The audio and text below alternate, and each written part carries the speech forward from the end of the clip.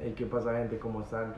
Primero que nada agradecerles por, por el cierre que fue el año pasado. Creo que no me había tomado el tiempo para agradecerles a cada uno que me ven en los videos. Creo que es un poco tarde, pero es mejor tarde que nunca. De verdad, espero que su cierre de año haya sido tan espectacular como el mío y en parte se debe a este proyecto y sobre todo al apoyo que he tenido desde el inicio. Gracias a ustedes. Eh, creo que ni en mis mejores días hubiera podido imaginar el alcance que, que he tenido con el proyecto y sobre todo el apoyo de la gente, el recibimiento que me han dado cuando me ven en la calle, me piden fotos, me saludan, me dicen que cuándo sale el próximo capítulo y de verdad es emocionante y nunca pensé que, que fuera a pasar. Entonces de verdad quiero agradecerles desde el fondo de mi corazón todo el apoyo y pues qué mejor manera de, de, iniciar este año que con uno de los episodios que más me han pedido en el canal, un invitado que, que no necesita presentación, Guillermo Estradela, es uno de los capitanes y referentes de, de, de Club Deportivo FAS y creo que a, en una parte del podcast él dice que de las, en las pocas entrevistas donde él se ha abierto con la gente y la verdad es que, es que se tocan muchos temas, la vida personal de Guillermo, lo que es llevar el fútbol y la familia a la par, cómo se vivió la pandemia, lo que significó para un jugador que sale de 2016 ser campeón con FAS y la verdad es que me llena de, de felicidad que, que jugadores así logren llegar a este proyecto y que sobre todo se cumpla el objetivo ¿no? de conocer a la persona por delante del jugador. Así que sin más preámbulos, pueden dejarme acá en los comentarios, ustedes ya saben quién quiere que traiga, si es fuera de fútbol igual, o sea, podemos gestionarlo, ¿por qué no? Déjenme acá los comentarios de las personas que quieren que vengan. Así que sin nada más que agregar, solo una plática número 7 con Guillermo Estradela. 1, 2, 3, 1, 2, 3.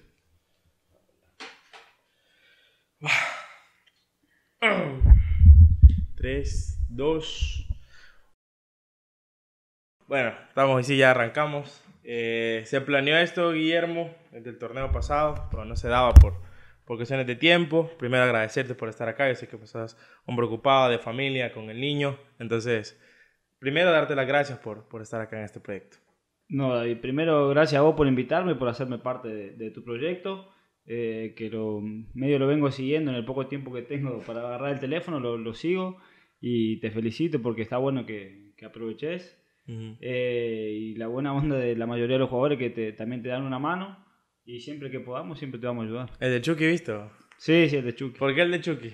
O sea, no lo vi todo, vi un, vi un pedazo nada más y me llamó la atención. Después, como viajo siempre con Chen, medio me comentó lo que habían hablado y todo y que a él le gustó. Ajá. Sí, sí, es que Chen, vos y Rudy son los más pedidos. Ahorita que te denuncié, unas horas pasaron y me explotaron el Instagram.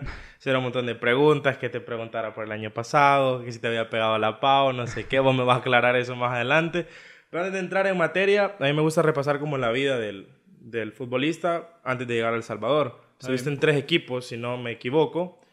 Eh, empezaste en FAS en el 2016, ¿verdad? Sí, así es. Entonces empezaste en Club Deportivo FAS, pero antes, vos me vas a corregir aquí, estuviste, ya te digo, Rafaela, Portuguesa Fútbol Club y Benur. Sí. ¿En dónde empezaste? ¿En Rafaela? En Rafaela hice todas las inferiores. Bueno, comencé jugando en, en mi pueblo. Eh, ahí empecé jugando. Después, uh -huh. antes de terminar la secundaria, me, me, fui a jugar, o sea, viajaba. Hasta que terminé la secundaria, jugaba en Rafaela. Uh -huh. Hice todas las inferiores. Y ahí ya es competencia más importante porque te enfrentas contra las inferiores de Boca, River, todos los equipos grandes. Yeah. ¿Y Rafaela de qué? O sea, ¿de dónde naciste? De Santa Fe, es Rafaela de Santa Fe. Ah, ok. Yo no soy de Porteña, un pueblito de Córdoba, que queda en el interior. Ah, sí, Córdoba. Más o menos sigo la cultura argentina, yo uh -huh. de... Digamos, Córdoba es lo que está como al... Está en el centro. Ajá. En el centro Y del está en Mar de Plata, es ya... Ya Buenos Aires. Uh -huh. Ah, va, pero... Ok, seguís en Rafaela, terminás la secundaria y después pasás a Porteño...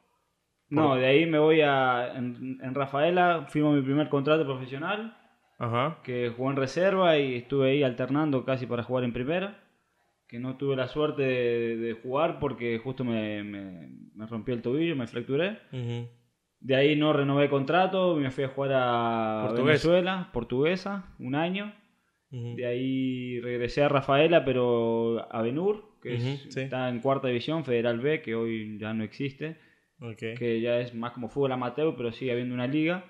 Ahí también estuve un año y de ahí me, me hablaron, un amigo mío de, de, mi pueblo, me habló que estaba la posibilidad, que había un señor que estaba trayendo jugadores acá uh -huh. eh, a prueba, entonces, como visorías que le dicen aquí. Sí. Entonces yo le dije que sí, vámonos. Así llegó una leyenda, llegó así, Ventos. así me dijeron también, me han contado la historia de él.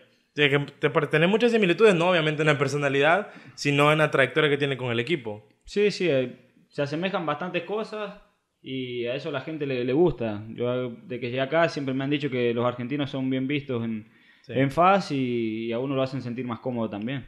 Eso uno. Y dos, también lo que con Chen creo que lo hablaba, de que me dice cómo agarran cariño la gente de aquí a los jugadores, pero le digo que son unos pocos.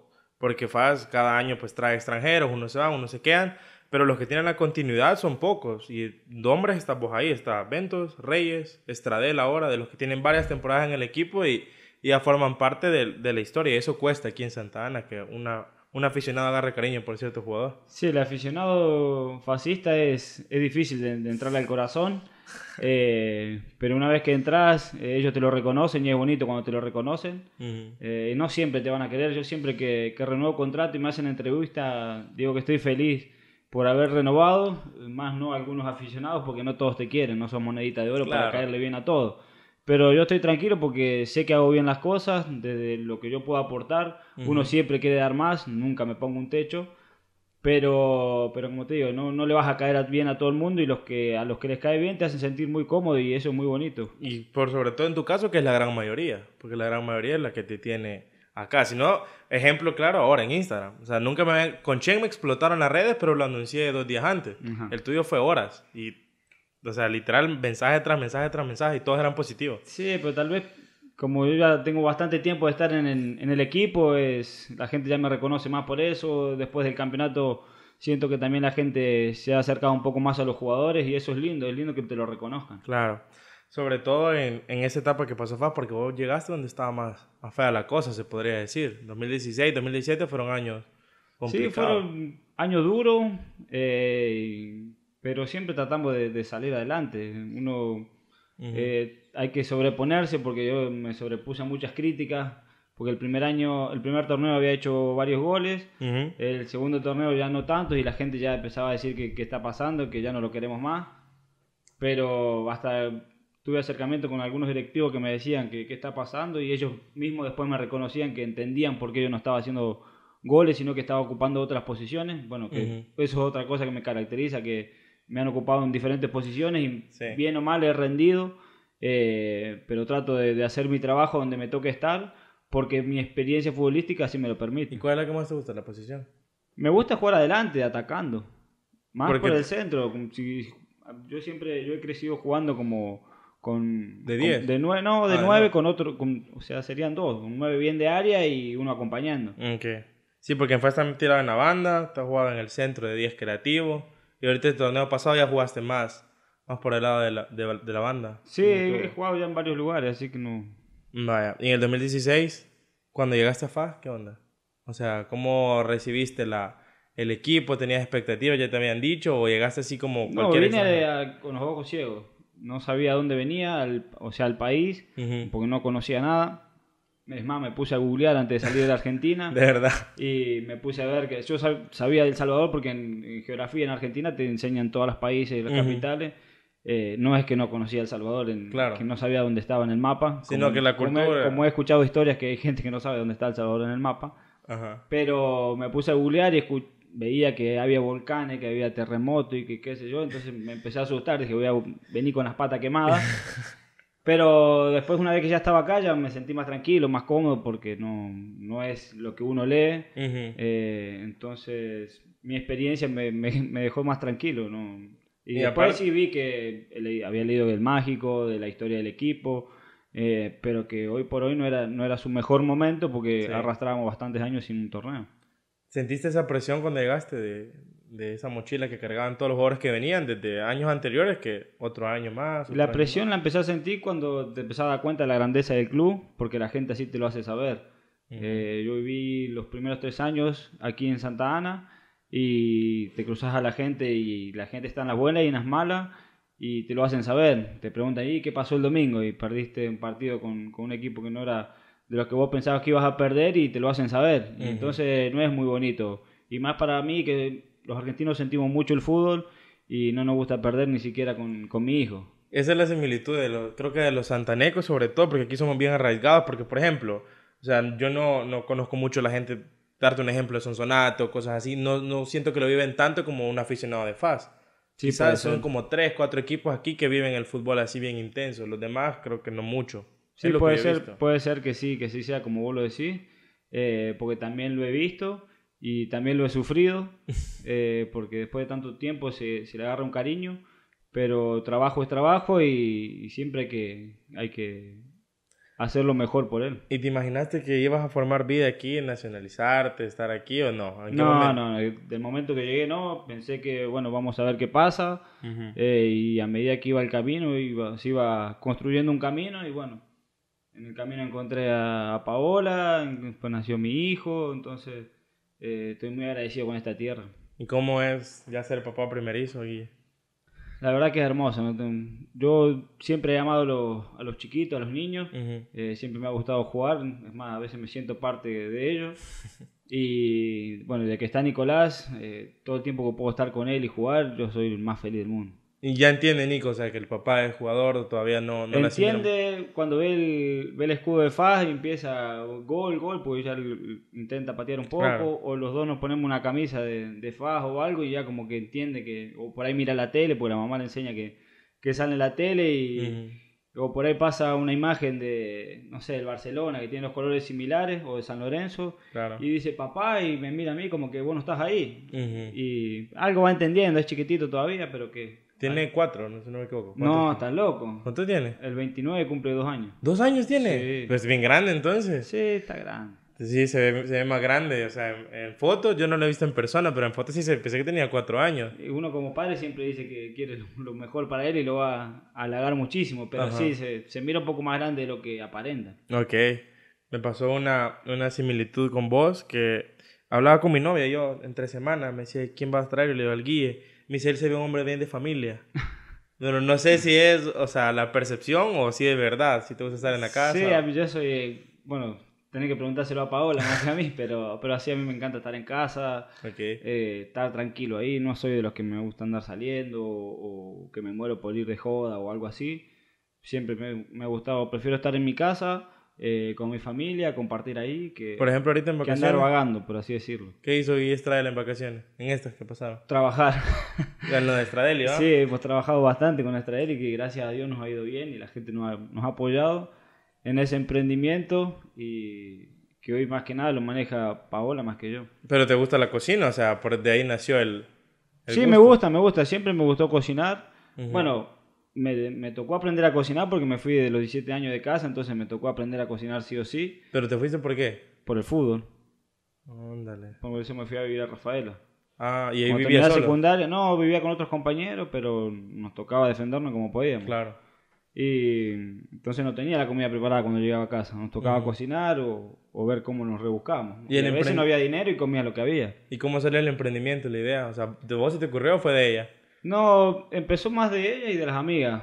Porque justo dio la casualidad que estaba mi mamá acá. Ujú. eh, a mi mamá le agarró la pandemia acá y ella tiene otras recetas o sus conocimientos. Y, y nos hacía empanadas, pues yo hacía empanadas, pero hacía empanadas de jamón y queso, lo más básico. sí. No, no me iba a poner a cocinar carne nada. Ujú. Entonces ella cuando vino para consentirme, hacía empanada de una cosa, de lo otro, y, y las amigas la probaron y dijeron, no, tenés que empezar a vender, empezar a vender. Y nos agarró la pandemia y estábamos tratando de rebuscarnos de dónde sacamos dinero. Ujú. Y así fue que empezó. Ellas dijeron, no, nosotros te vamos a comprar, prepararla. Les vendimos a ellas algunas empanadas y ahí empezó la Pau, ya empezó a buscar el nombre, a crear páginas, porque ella es muy, muy busa para todo eso. Sí. Y gracias a Dios pegó bien. Sí, sí, veo que también estuviste en fin de semana, estuviste como en una feria, ¿no? Sí, el 20, 21 y 22 Ajá. estuvimos en, en una feria ahí en el, en el Museo Marte. Sí, sí, sí, vi las historias por ahí. Ahí estuvimos con empanadas, alfajores, chocotorta. te decía fuera de cámara que sos de los, bueno, de los que yo conozco personalmente, de los que más maneja las redes, aunque vos me decías que no mucho. Pero No, en yo- cuestión de marcas y de publicidad, sí. Ese es un tema de pelea siempre con Paola porque ella siempre me dice que, que tengo que manejarlas más, moverlas más, porque, bueno, ella tiene experiencia porque siempre ha tenido eh, canje, por así como se maneja hoy en día con la Claro. publicidad, y yo creo que con mi imagen lo pudiera hacer. Y te digo que yo no la manejo tanto, pero si me comparas con algunos de mis compañeros del equipo, sí, soy uno de los que más la maneja. Pero es que eso es importante. Yo lo hablaba con un amigo porque Fast tiene una exposición grandísima.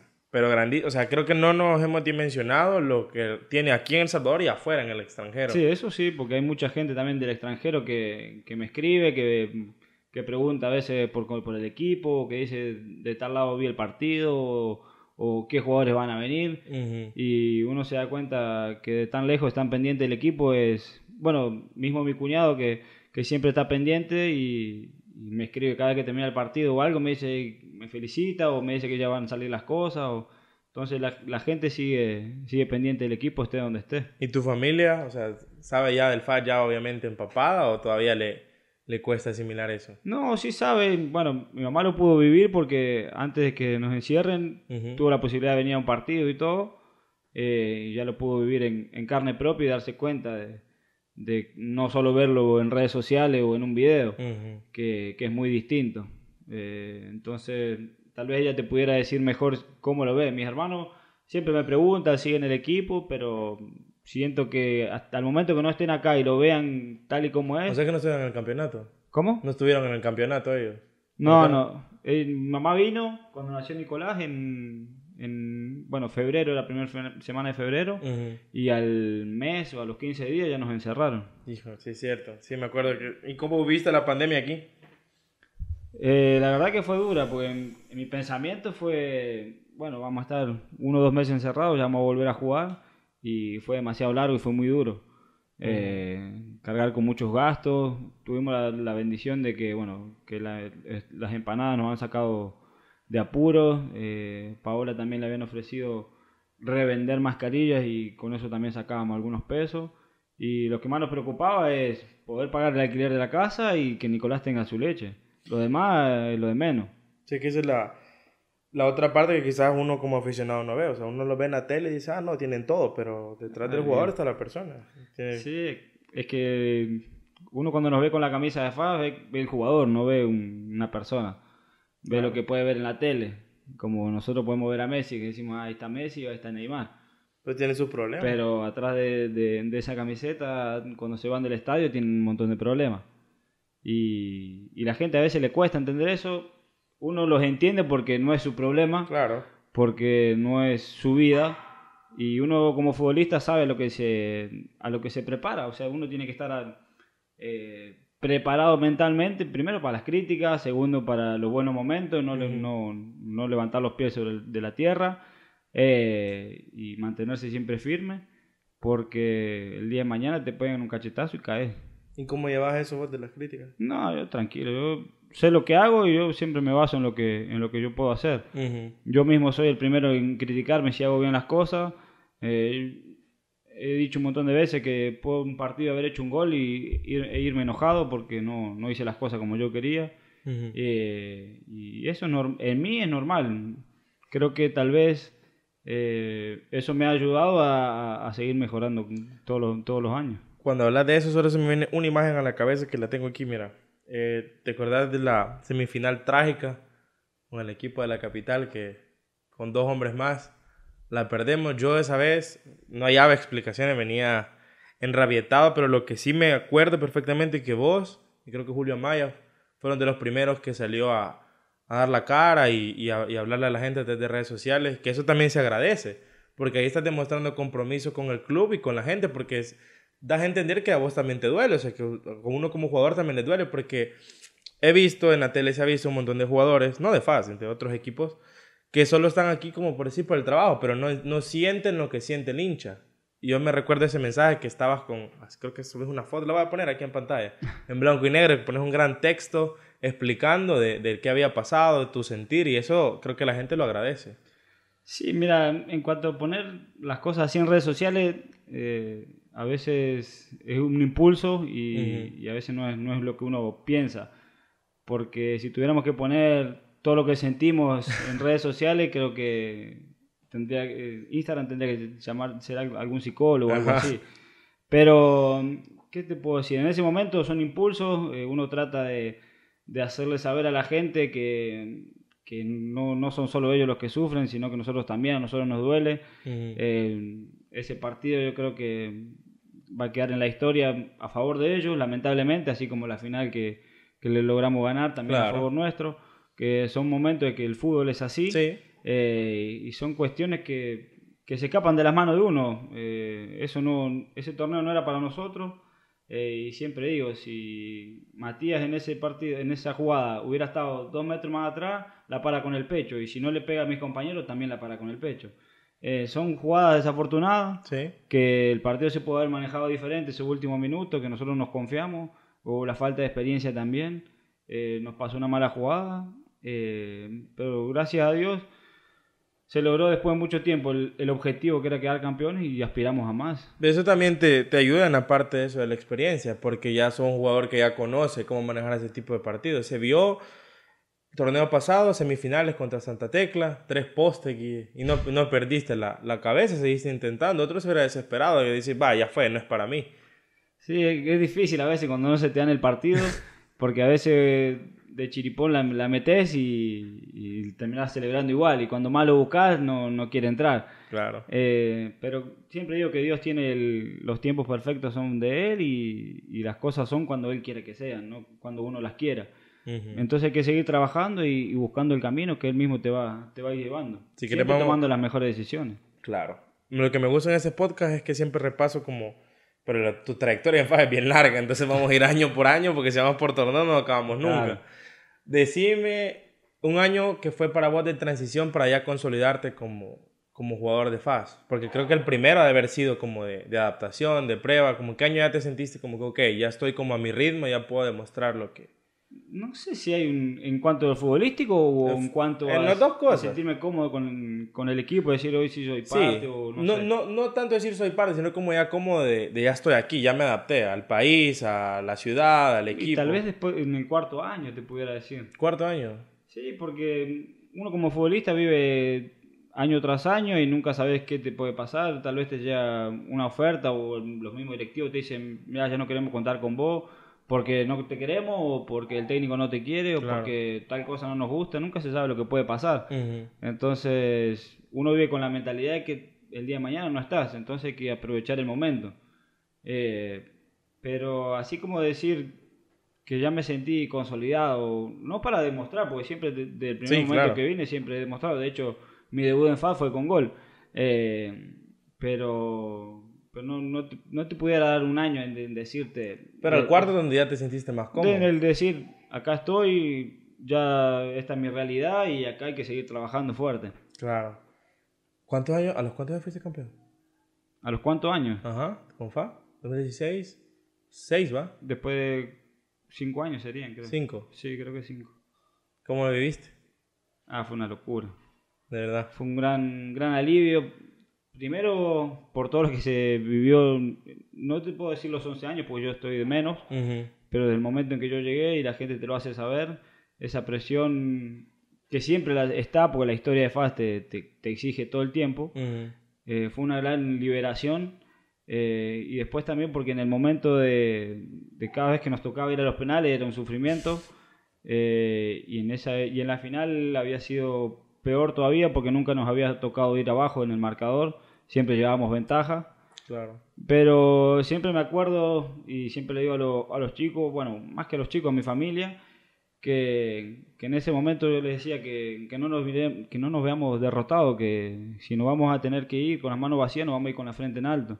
Pero que Dios tenía eso escrito para nosotros, que ese era el momento. Más allá de que ellos tengan la ventaja, una, dos, tres, cuatro veces, las veces que sean, ese momento iba a ser para nosotros si Ibsen lo erraba y después le tocaba patear a otro, eh, tal vez lo ganábamos en otro penal y no en ese. Pero que era escrito para nosotros. Ya tenían esa confianza. Así era. Yo lo sentía así y se lo trataba de transmitir a mis compañeros. Wow. ¿Cómo es ese penal de Ibsen? Ahorita voy saltando, pero es que me acuerdo que todos me han dicho algo diferente del penal de Ibsen. No, yo sabía que él iba a patear fuerte al medio, que él no iba a andar con ninguna vuelta. Pero que dicen que nadie habló. No, nadie dijo nada. Él, él, dijo, bueno, de hecho en el penal con, con Chen, como que vas vos, voy yo. No, yo voy, dijo Chen, entonces se fue, no hubo ningún problema. Y en el otro él se fue directamente, no, no hubo ni, ninguna queja ni nada. No, por eso, pero es que... Yo todavía le, en ese momento le decía a Chan que pateara a él, porque él era zurdo, y como estaba al punto de penal, los que estaban pateando de derecha, el, el pie de apoyo, Sí, lo tenían el, el- el manchón penal estaba destrozado. Claro. Por eso a ellos no le fue tan bien. Ujú. Eh, entonces yo le decía a él y en el momento ese se fue Ibsen y bueno, la historia sí se escribió. Ok. Antes de, de cerrar con eso de, de la final, quiero tocar las, las semis. Bueno, fallas técnicas. Pero No pasa nada. ya retomamos. Nos habíamos quedado en las, en las semifinales. Ajá. ¿Cómo se vivió eh, ese partido? Sobre todo por, por cerrar en penales en casa. ¿Tenían presión por cerrar o, o- o ya estaban más tranquilos que estaban en el quiteño? Estábamos tranquilos porque estábamos con nuestra gente y nosotros sabemos que cuando en los primeros minutos nosotros hacemos las cosas bien, la gente ya se mete con nosotros. Sí. Eh, eso siempre ha sido así. Y, y bueno, como habías comentado antes de, de que habíamos pegado como tres tiros en los palos, la pelota no quería entrar, eh, había que tener, mantener la calma porque se venían los penales y no te puedes volver loco, como Claro. nos pasó con Chalate, que perdimos la cabeza. Eh, entonces creo que, que Dios no tenía eso guardado para nosotros, lo tenía iluminado a Kevin y bueno, los que les tocó patear lo hicieron bien y, y nos tocó llegar hasta la, hasta la final. En esta época estamos dando saltos de partidos. Pues mencionaste Chalate ahorita. ¿Qué faltó ese partido? que Yo, perdón, eh, Guille, ese partido, cuando yo llegué, tenía una calma que, que se pasaba con, con tranquilidad. Se dominó el partido, el gol de Chucky, pero al final, últimos minutos y una jugada desafortunada, ahí es donde te empieza a jugar la cabeza en contra. ¿O qué pasó? ¿Qué crees que faltó? No, siento que igual nos faltó actitud. Eh, no dimos lo que teníamos que dar y, y nos pasó factura. Eh, ellos no dejaron de creer, porque también hay que darle mérito. Sí. Pelearon la última pelota y, y tuvieron su, su beneficio. Eh, después en los penales creo que no teníamos la, la cabeza metida en lo que teníamos que hacer y, y se terminó pagando caro. Eh, pero también soy consciente de que así como a penales hemos llegado a la final y la hemos ganado, a penales también podíamos quedar afuera. Ese momento no era para nosotros, pero ¿por qué? Porque no se habían hecho las cosas bien. Entonces el premio nunca iba a ser para nosotros. Claro. Y este torneo, como viene, todavía no ha arrancado. Esto se está grabando una semana antes de, de empezar el torneo. ¿Cómo ves al grupo? Bien, porque bueno, hasta ahora han llegado solo dos jugadores nuevos al equipo, son nuevos para el equipo, porque Claro. ya los conocemos a todos. Eh, falta que se terminen de incorporar y, y los demás jugadores. Eh, aparte se van los jugadores a la selección y el grupo completo casi nunca está. Eh, pero veo al grupo bien, con ganas de, de revancha, si pudiera decir, con ganas de hacer las cosas bien este torneo, de unirnos como familia, como siempre lo ha sido este equipo, Sí. y, y de tratar de tirar todo para el mismo lado para, para lograr los objetivos. ¿Pesa eso de la selección, Gui, cuando se desajustan en, en los tiempos? No, no pesa en, el sentido de que tenemos, hay jugadores y hay recambio, eh, entonces no pesa, pero sí a veces desajusta a la hora de trabajar, eh, a la hora de, si bien nos conocemos porque trabajamos siempre juntos, pero a veces en la selección entrenan a otro ritmo, tienen otro ritmo de vida, Ujú. que al, el ritmo cotidiano que tienen al venir a entrenar con el equipo a Santa Ana, entonces eh, a veces desajusta eso y, y no, y cuesta terminar de, de adaptarse. Hablando de eso, me hacían una pregunta aquí. Eh, un seguidor me dice que si te ves en la selección algún día, ¿te gustaría? Sí, me gustaría, sí. Las veces que me lo han preguntado siempre lo he dicho que, que me gustaría. Eh, uno de chiquito sueña con, con jugar en, en el pueblo, con jugar en primera división, con jugar en una selección y, y hoy me veo más cerca de jugar en El Salvador que en Argentina, hay que ser consciente de eso. Eh, pero todo a su tiempo y todo al ritmo que Dios quiera. Eh, con la nacionalización así se dio. Ujú. Eh, se dio porque yo no la buscaba, se acercaron a mí, yo dije que sí, abrimos las puertas Ujú. y, y se dio. Soy un salvadoreño más, un ciudadano más, eh, tratando de respetar las leyes y las normas que, que rigen aquí. eh, y también siendo consciente que soy un- una figura pública que me lo ha dado FAS. Claro. Y, y el día de mañana o el día que me toque ir, si es que el técnico que esté me, le gusta como yo juego, le puedo aportar algo a la selección, Ujú. siempre voy a, voy a estar dispuesto, porque primero porque la profesión que a mí me gusta y representar a un país eh, no es para cualquiera. De hecho, son solo 23 y hasta menos los que pueden tienen la posibilidad de, representar a todo un país en un partido. Y hablando del país, ¿qué te gustó más del Salvador para ya quedarte acá? Obviamente el tema de tu familia pesa, conocer a tu pareja y el nacimiento de tu hijo, pero esa como variante siempre se da en los argentinos, más que nada aquí en FAS, que se terminan enamorando de la ciudad, de, de Santa Ana, del país entero. O sea, ¿qué fue lo que motivó a Guía a establecerse acá? Mira, a mí lo que me gusta del país, que al ser chiquito está todo cerca. Todos te van a decir del tráfico, sí, el tráfico, pero en Argentina son distancias muy largas. Yo, por ejemplo, si quiero ir a la playa en Argentina, tengo que viajar 7 horas de donde vivo y, no es fácil. Acá en una hora estás en cualquier, cualquier playa que vos quieras, dos horas lo mucho. Y también tenés el, lago, tenés montaña, lo que vos trates de buscar, eh, te puedes ir tranquilamente. Claro. En cambio, de donde yo soy, las distancias son mucho más largas y no tenés tantas facilidades para ir a conocer otros lugares. Y El Salvador tiene un montón de, lugares para ir a conocer. Eso es lo que me ha gustado mucho. Y después, eh, la tranquilidad y la calidad de la gente, porque he sido bien recibido acá. La familia de Paola me, siempre me ha tratado bien, bueno, ella también, pues si no me va a matar. eh... Al paréntesis, que también eso fue fuera de cámara, que ya me lo aclaraste, pero la gente me lo preguntó. ¿Qué fue eso de que te iba a matar o que, cómo fue ese chiste?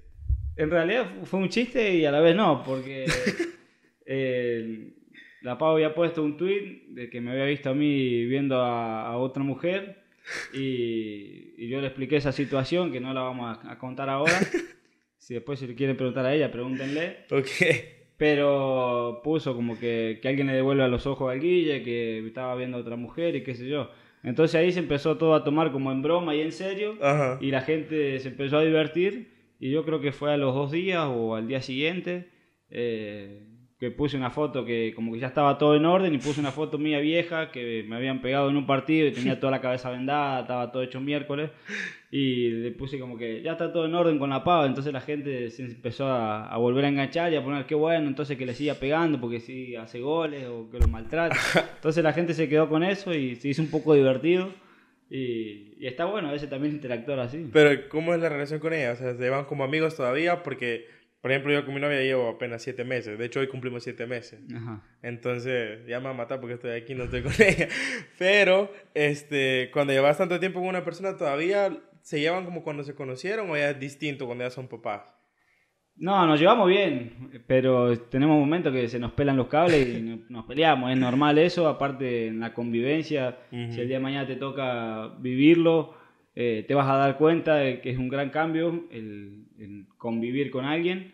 Eh, y después cuando tenés un hijo de por medio, bueno, con Pau siempre nos hemos tratado bien, eh, más allá de las peleas, pero una vez que, primero cuando llegó Gira, cuando llegó la Gira nos cambió, porque cuando nos peleábamos antes no nos hablábamos por un rato, en cambio cuando estaba la Gira tenés un motivo por el cual acercarte.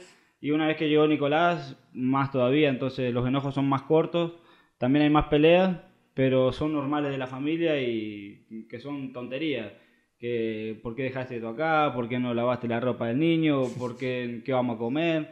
Y, son situaciones naturales, pero a mi parecer creo que llevamos bien la familia y, yo estoy muy contento con ella y la amo mucho. Sí, como te decía, de, de lo que yo he percibido, pues no los conozco así a conciencia, pero vos, Kevin, que va a estar viendo esto, son hombres bien, se ven de hogar, pues, o sea, que les gusta estar con su familia, con sus hijos, y se nota, o sea, se, se ve reflejado afuera y, y, también me lo estás contando ahorita, entonces, sí se ve lo que uno percibe. Sí, yo trato de ser como soy, no, no, no, quiero aparentar ninguna otra cosa que no, que no sea, porque no siento que no, no va conmigo. Claro. Paola también es así, ella vive la realidad, no vive en otro mundo. Eh, creo que por eso llevamos bien las cosas. ¿Y cómo se conocieron? Por Instagram. Por Instagram. Igual yo. A la vida. Vamos, juntos ahí. Sí. Sí, la había sido por Instagram. ¿Una historia le contestaste? No, no, yo no, yo no la busqué, ella me buscó. Ándale. Para que quede claro. Ándale. Eh, sí, la historia de ella es como que estaba viendo los canales de la tele con la mamá y que justo pasó el de deporte y dijo quién es ese Entonces le preguntó a un amigo que es, trabaja en la tele, que quién era, y él le pasó el apellido y empezó a buscar en Instagram. Y yo en ese momento lo tenía privado. Entonces me siguió y yo me cayó la solicitud, miré y como tenía tantos seguidores, uno desconfía. Y aparte que era linda. No, era no, es. Hay que ser consciente. Eh, me, llamó la atención y, le escribí hola. Y le escribiste, Yo le escribí hola, para, o sea, le, acepté la solicitud y también la seguí. Y le escribí, le puse hola. Ah, pero vos comenzaste. Sí, ya comencé, tengo que dar el, primer paso. Entonces, eh, ella se empezó a reír y me dice, ya te estaba por eliminar. Ah, le digo, qué, bonita forma de empezar. Y ahí empezamos a hablar y me contó que era que andaba buscando para ver cómo era yo, pero no es que, que me buscaba porque yo era futbolista o algo, sino que solo le llamó la atención, ¿viste? Como son ahora que te empiezan a revisar todo. Y ahí empezamos a hablar, a hablar y, y un día vino el quiteño, un partido que yo no jugaba, y ahí nos terminamos de conocer personalmente y después de un tiempo nuestra historia es media rara porque de un momento a otro empezamos a vivir juntos. Entonces, prácticamente del momento que no es que nos conocimos, pero que, que ella estuvo acá en Santa Ana, empezamos a vivir juntos. O sea, ella no es de acá, de San Salvador. No, ella es de San Salvador. De hecho, ah. nos fuimos a San Salvador ahora, bueno, antes que naciera Nicolás, para que la familia de ella también estuviera más cerca de Nico y nos pudieran ayudar con, con alguna situación. Ah, ok, pero yo pensé que era de acá. No, no, no. ¿Y cuando nació Nico, cómo te enterás? ¿Cómo fue ese momento? Estábamos acá en Santa Ana. Eh, habíamos vuelto de, de, un viaje que habíamos hecho a México, que de hecho andábamos en México y, y ella se sentía mal y yo enojado con ella porque digo, estamos de vacaciones y vos querés dormir temprano, te levantás tarde. Era, y, y después nos enteramos que era Nicolás el que la tenía así. y, y, allá estuvimos, habíamos estado en ruedas y en lugares y nosotros ni enterados de que ella estaba embarazada. Y al día siguiente fuimos, se hizo unas pruebas y me dijo, me has las dos pruebas, porque se había hecho una y supuestamente la otra era para el día siguiente por cualquier duda y cuando vio la primera positiva la otra se la hizo enseguida, ya sabes cómo son las mujeres de, impaciente, entonces, eh, no todas, porque si no se van a enojar algunas. Eh, entonces, al día siguiente fuimos al, al ginecólogo de aquí y, y, bueno, el ginecólogo la revisó, le dijo como que sí, estaba embarazada, porque daban la fecha, daba todo. Y de hecho le hizo una eco, una, una ultra, porque quería revisar una cosa y en ese momento pudimos escuchar el corazón que ya estaba latiendo y quedamos los dos impactados. Okay. ¿Cuántos años tenías ahí? 27 creo que teníamos. Ah, no, ya... No, ya, o sea, estábamos grandes. Sí. Ya si me pasa ahorita me muero. No. Uno piensa eso al principio, pero después cuando... Sí, te cambia la vida. Te cambia todo. De verdad. Te cambia la mentalidad, te empezás a preocupar por otras cosas. Ya no sos responsable de alguien más, no solo de tu cuerpo. Entonces te cambia mucho la cosa, la vida. Sí, eso me... ¿Con, ¿con no hablaba, de hecho? Que es como que te cambia el chip en cuanto, más que nada, al sentido de madurez, porque ellas maduran más rápido que nosotros. Claro. Pero a un hombre como que le cuesta todavía, incluso cuando estás con tu pareja, que te, cuesta salir, que te gusta más la joda, pero cuando llega una situación así es como que automáticamente la vida es como que te dice, te calmas porque te sí, No, hay excepciones que, que, no les cambia la vida, pero, pero a mí en lo personal sí me, te hace pensar en, en, los riesgos que corres uno como papá o con el niño, qué es lo que le puede pasar, que no le falte nada. Son muchas preocupaciones, bueno, también para, la, para Pau, que nunca le falte nada por vitamina o algunas mm. cosas que ella necesitan que son necesarias. Eh, son muchas preocupaciones que uno no las tenía en cuenta porque solo se preocupaba por jugar y llegar a casa y ver qué vamos a hacer en vacaciones. ¿Y el Nico va a ser futbolista o no? No, qué sé yo, que haga lo que él quiera. Mientras no, no le vas a exigir así de que... no, no, no, no para nada. Que hay papás como que son, más que nada los futbolistas, que es como que quieren que su hijo siga. No, que él haga lo que él quiera. Yo siempre le he dicho que, que él, si quiere ser arquitecto, si quiere estudiar, si quiere jugar al básquet, lo que él quiera hacer, que, que lo haga. Yo, nosotros lo vamos a acompañar en todo lo que él decida, siempre tratando de educarlo por el camino del bien y que él sepa diferenciar lo bueno de lo malo, porque creo que en eso se basa la enseñanza y tratar de inculcarle valores como nos han inculcado a nosotros desde pequeños. Claro, y ya tocamos el tema de la familia, gracias por, por compartirnos esa, Exacto, es que la gente, como que lo hablaba con, con vos antes de, de, empezar a grabar, que las personas que ven quizás solo conocen el, lo que ven en la tele, básicamente. Y a veces por ahí vienen situaciones cuando no se dan bien los resultados que empiezan a, pues a criticar obviamente, que, que también están en su derecho, pero no ven lo que, va, lo que pasa detrás, las preocupaciones, lo que viven económicamente, todo eso influye. Entonces, este espacio básicamente es para eso, para que conozcan a la persona por delante de, del jugador. Pero ya que tocamos ya los temas eh, más personales, pasemos ya al fútbol meramente. Dale. Quiero tocar dos puntos para finalizar el podcast. Primero, que es tradición acá vivir todo lo de la final, porque fueron 11 años, fue una época que tenía, bueno, personalmente yo nunca lo había vivido y me tocó vivirlo. Entonces quiero cerrar con eso y con este nuevo torneo. Entonces, primero punto la final. Previo, antes de la final, todos me han, le, le, he dicho a Chucky, le he dicho a Kevin, eh, Chen también me lo confirmó, que había un ambiente chill. O sea, que no se preocupaban, no pensaban que era una final, pero ustedes era un partido más, nada más. Y no tenían como esa cabeza que se les hincha así de, juela, ya viene la final, puede pasar, sino que ustedes estaban en su, en su onda. ¿Fue así? La verdad que sí fue así. De hecho, yo se lo dije a Chen cuando estábamos ahí, que nos encontramos donde fuimos a almorzar. Le dije, digo, Chen, hay un ambiente totalmente diferente al, al que había en la otra final. Y me dice, ¿por qué? Digo, lo veo todo más tranquilo, más, no relajado, pero sí más tranquilo, uh -huh. no, no hostigado con, con, lo que se viene, eh, pero sí con, se veía hambre. Y no porque era la hora del almuerzo, sino porque hambre de querer ganar esa claro. corona. Eh, y él me dijo, me motivaste más de lo que estoy.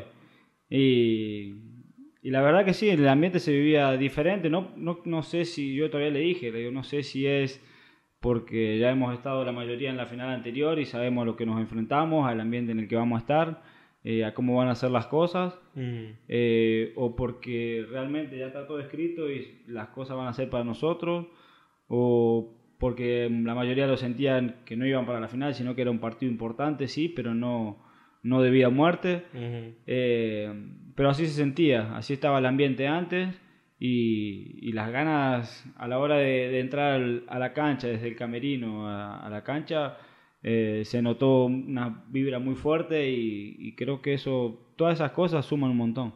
¿Qué se siente cuando quedas campeón? Más con, más con el rival, en qué estadio estaban, lo que se había pasado en la final que la subiste la anterior. ¿Qué liberación da para Guillermo Estradela ya quitarse esa mochila? A mí no me importaba tanto el rival, eh, pero sí ser nosotros quienes escribamos la historia. Quedar, yo quería que mi nombre quedara escrito en, con letras doradas en la historia de FAS. Eh, por muchos años que, que, vengo viviendo, mucho esfuerzo y necesitaba quedar en la historia del equipo con un título, no solo con estadística de goles o partidos o minutos. Uh -huh. eh, y mi objetivo era ese también. Pero a otros le, les, les, llamó más la atención por, con el equipo quien era, en la cancha que era.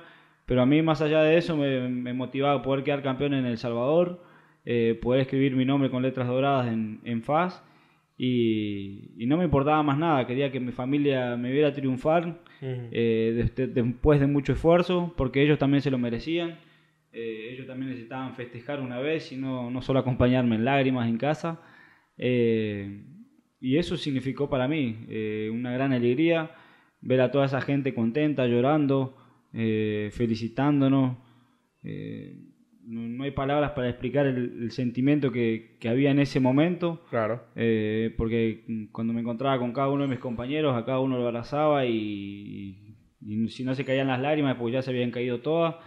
Eh, pero por todo el esfuerzo y, y, todo lo que se había vivido en, a lo largo del torneo, uh -huh. eh, se sintió como hasta acá llegamos y, y se hizo lo que se, se, tenía que hacer para salir campeón. Quiero hacer un, antes de pasar al último tema, que es que te dije que este torneo, como te dije que habían explotado mis redes, me han hecho un montón, pero un montón, un montón de preguntas. No lo pedí, sino que la, la vera gente me ha mandado preguntas Ajá. sin yo pedir, entonces las voy a decir acá y vos las vas respondiendo. Primero dice, ¿jugarías en otro equipo aquí El Sabor que no sea FAS? Sí, pudiera jugar porque trabajo es trabajo. Me costaría, eh, si me tocara enfrentar a FAS, me costaría, pero, pero sí, si el día de mañana FAS ya no quiere eh, prescindir de, mi, de mis prestaciones, uh -huh. de, de, mi trabajo, yo tengo que darle de comer a mi hijo. Claro. Y aquí hay una similar, dice Carlos. Dice, si de vos dependiera, ¿renovarías? Siguiente turno, porque se acaba, es, este es su último, ¿verdad? Sí, me queda un torneo. ¿Renovarías? Sí, renovaría, claro. Okay. O sea, yo siempre le he dicho al directivo que mi primera opción en, en el país es, es FAS. Ok. Dice, si te llama Hugo, ¿vas a la selección sí o no? Sí, obvio. Sin pensarlo. Sí, con los ojos cerrados. Perfecto. A ver, eh, aquí Rudy reaccionando, que estoy leyendo la clavel. Un saludo, mandale a Rudy. Rudy, deja pegar patada. la última, onda que sí, Ángel, dice, vamos a ganar la 19 de este torneo, Guille, Primero Dios, vamos a trabajar para tratar de, de lograrlo. Va, sección random que es el aquí que gente había mandado preguntas. Si no las abarqué, pues en otro podcast las vamos a, a tocar esa sección. Y por último, para finalizar este torneo, Guillermo. ¿Cómo ves al equipo ya en cuanto están una semana, mañana juegan partido amistoso sí. contra... ¿Cómo se llama? Y... Y lo no. Y lo Pango FC creo que se llama. Creo que sí. Pero obviamente son partidos obviamente de sparring para ir agarrando ritmo. Pero la plantilla, ¿cómo la ves? O sea, conformada por, como me mencionabas, quizás la base se mantiene y hay dos jugadores que ya se incorporan ¿Crees que se van a adaptar rápido? ¿Crees que no? ¿Cómo va a ser este torneo para Club Deportivo FAS? Y los pangos se llama. Y los pangos, ¿viste? Eh, van pocos días y lo que más se hace ahora es trabajo con pelota, pero son trabajos más físicos que, que tácticos. ¿no? La mayoría viene duro, es mentira que los jugadores de acá se... Bueno, me incluyo, pues yo tampoco he hecho nada se, se, van a un gimnasio o se van a correr a algún lugar y se preparan para mantenerse. Eh, en mi persona, gracias a Dios, nunca he sufrido en, en, subir de peso o en algo así, porque medianamente me, me, sé cuidar, pero, pero estos días de pretemporada son más para adaptación física, tratar de ponernos bien en, en el peso, eh, agarrar un poco más de ritmo con la pelota. Eh, aparecen las molestias musculares de sí, claro, de, pasar activo un mes. Entonces es difícil de decirte en, cómo estamos parados, cómo veo el equipo. Sí te puedo decir que, que todos veo un cambio porque el cambio que viste de que había, torneos, no el anterior u otros, en donde los jugadores, acá es costumbre que lleguen sobre la hora o faltando 10 minutos, veo que la mayoría está más comprometido, está llegando bastante tiempo antes. Eh, y eso marca una pauta de que, que el compromiso desde cero ha empezado. Claro. Eh, estamos esperando que terminen de venir los, los bueno. Chen falta. Chen llega hoy, me dijo, mañana iría a entrenar. Eh, falta el delantero que han anunciado que llegue. No sé si van a traer a otro extranjero o a quién más van a incorporar. Pero entonces es difícil de hablar de a qué estamos preparados. Lo que sí te puedo decir es que de mi parte y de mis compañeros la exigencia siempre va a estar. Eh, los que llegan nuevos les hacemos tratar de entender un poco de a dónde vienen, a dónde están parados, eh, que no, no, vienen a pasear. Ese es tu nuevo rol, de hecho, o sea, ya sos parte de, de, los capitanes, de, los pesos. más tiempo tengo. Eh, entonces tratamos de, de hacerle entender que no vengan a pasear, de, de hacerle entender que acá han venido jugadores que en otros equipos han sido buenos y acá no han rendido. Claro. Entonces es momento que ellos hagan la diferencia de que si te han traído a Fajes por, por algo, entonces no demostrarlo, sino que hacer lo que venís haciendo y hasta mejor, porque FAS te da plus.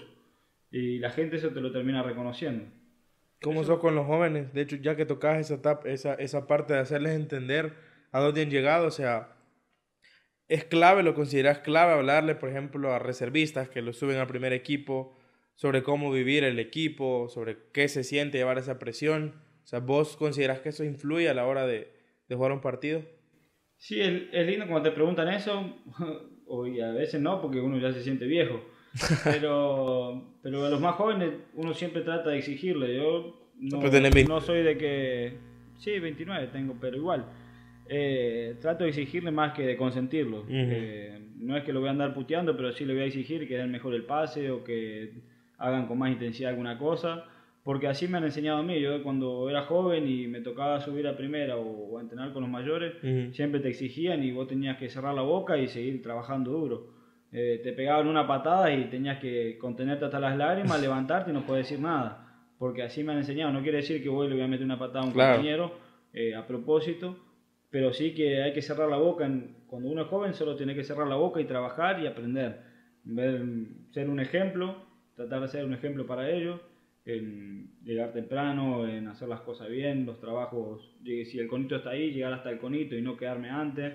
Eh, esos pequeños detalles ellos lo tienen que ver y uno trata de transmitir eso. Eh, después lo que son de acá, es mentira que le vas a transmitir cómo vivir el equipo porque ellos han nacido acá y de chiquito eh, viven de FAS. Entonces, hacerles entender que ellos pueden estar ahí arriba, pero que con solo verlo no van a hacer nada, que tienen que trabajar muy duro.